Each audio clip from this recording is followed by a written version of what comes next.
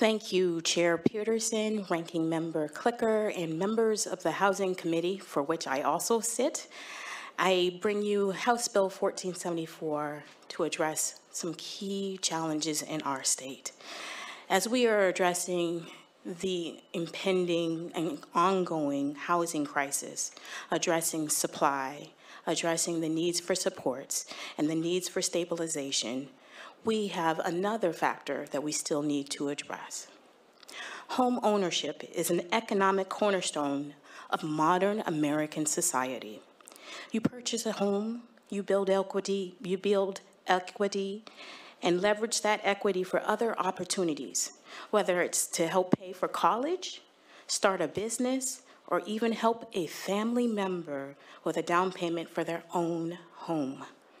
Yet, it is unmistakable that racially restrictive covenants, as the anchor to other historical efforts such as redlining, mortgage restrictions, they were essential in a concerted effort to discriminate against Black, Indigenous, Asian, Jewish, and other marginalized residents of Washington state. And the results of these intentional policies, practices, and laws have had a multi-generational impact on our Washington communities. This bill addresses the decades, the decades of direct harms inflicted by our state on Washington residents. Community members and their descendants who have been in this state since before it came to be. Racially restrictive covenants did not become unenforceable until April 11, 1968. This is just seven days after the assassination of Reverend Dr. Martin Luther King Jr.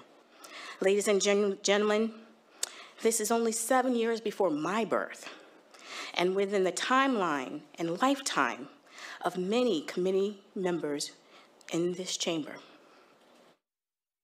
This bill is the outcome of years of nonpartisan historical research. The stakeholder group to help craft this bill is comprised of a multiracial coalition, and we all have a stake in this.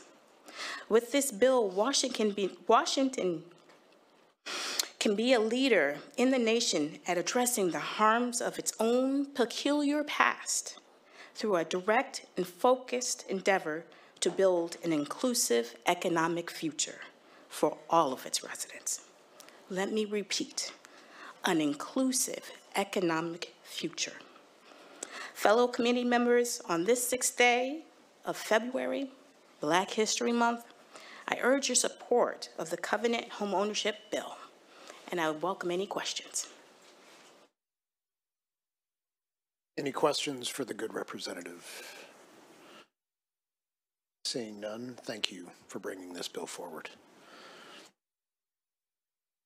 And first, I would like to bring up, he might not refer to himself this way, but we think a very special guest who has done tremendous work in this space in, during his time in elected office, uh, Lieutenant Governor Denny Heck. Welcome. Thank you for joining us.